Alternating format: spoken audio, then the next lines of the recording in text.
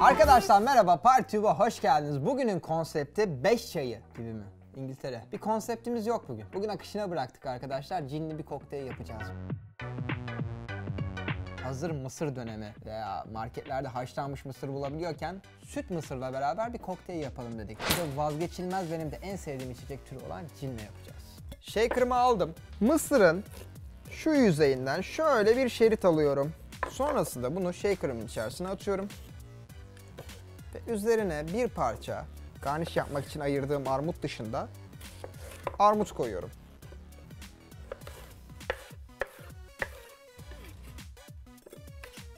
Tokmak yardımıyla bunu güzelce eziyorum. Armut ve mısır güzelce birbirine geçiyor. Haşlanmış mıs- mısır olduğunu unutmayalım ama. Bu içeriğin üzerine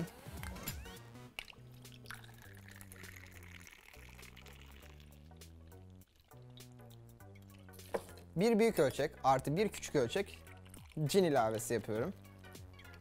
Sonrasında 5 cl birazcık daha ekşi bazlı olarak oluşturduğum sweet and sour miximden koyuyorum.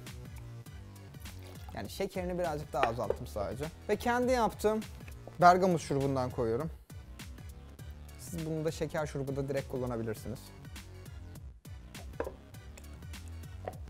Ve sonrası için bakalım.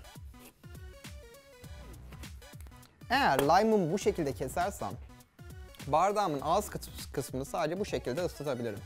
Ve bu sayede bardağıma istediğim şekilde rim yaparım.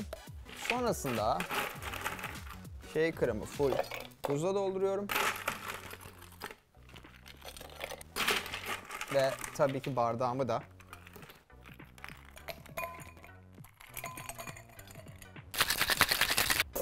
Ve bunu tabii ki iki süzgeçle beraber yapacağım. Böyle süt mısır renginde hafif ayva suyuna benzeyen sedefli bir kokteyl oldu.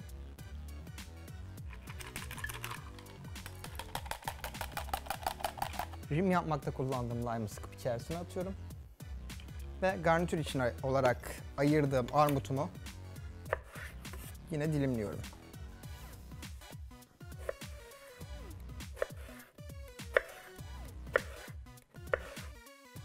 Bıraktım ve kokteylimiz hazır.